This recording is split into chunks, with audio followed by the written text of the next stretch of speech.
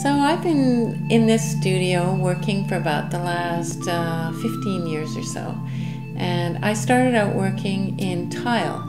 I was doing custom tile for people in their homes and businesses. Well, one thing leads to another, and pretty soon it's tiles on the counters and uh, handmade sinks and tiles on the floor.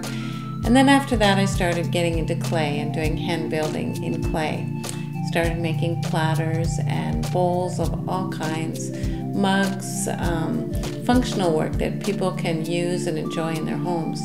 Most of my work is really colorful, uh, it's very heartwarming, it's funky, it's fun.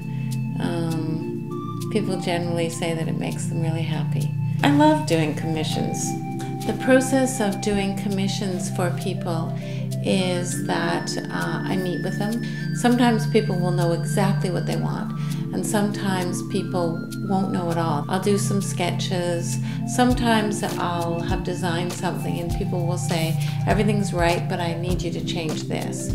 Or someone will say, Well, actually, I just really would like these colors.